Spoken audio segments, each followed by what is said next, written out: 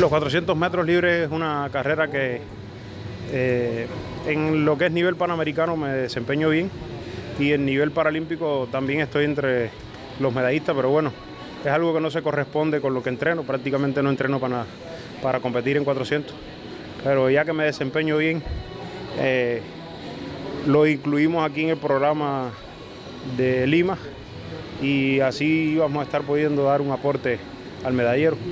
y estar sumando una medalla más del color que fuera, pero bueno, viendo que las posibilidades reales eran de estar entre el primero y segundo lugar, pues decidí emplearme y aunque no se acercó a mi mejor crono que tengo los 400 metros libres, pero bueno,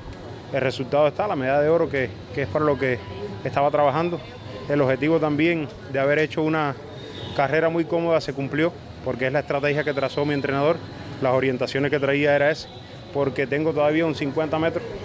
y tengo los 100 metros libres. Pero sumando a eso tengo los 100 metros pecho, que por cuestiones de clasificación